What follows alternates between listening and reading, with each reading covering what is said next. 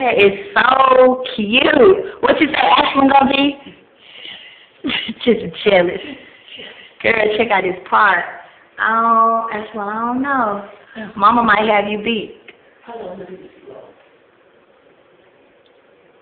Boom. Tell them five star studio, Mama. Five star studio. Come get yours, honey.